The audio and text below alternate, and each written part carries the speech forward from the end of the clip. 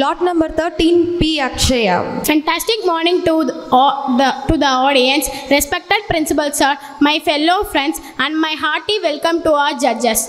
Youth play a crucial part in driving societal society society towards peace. Youth is the future of the society.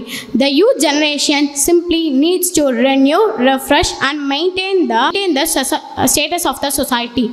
Thank you. Good effort, dear.